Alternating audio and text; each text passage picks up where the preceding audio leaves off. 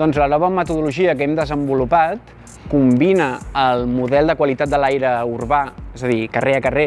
que es diu Calliope Urban, doncs combina els resultats d'aquest model amb dades diverses de la ciutat utilitzant aprenentatge de màquines o intel·ligència artificial. D'aquesta manera, a mesura que anem recollint dades, doncs som capaços d'anar millorant el model, perquè allà on no arriba el model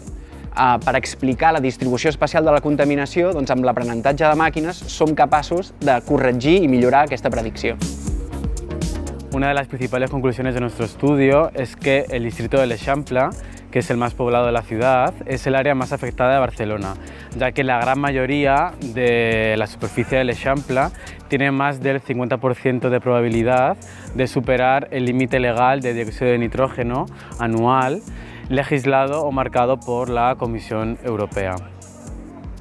Nuestra metodología ayuda a la Administración Pública a diseñar y gestionar políticas que mejoren la calidad del aire en ámbitos urbanos. Esto es muy importante ya que la contaminación atmosférica supone el principal factor de riesgo ambiental para la salud humana.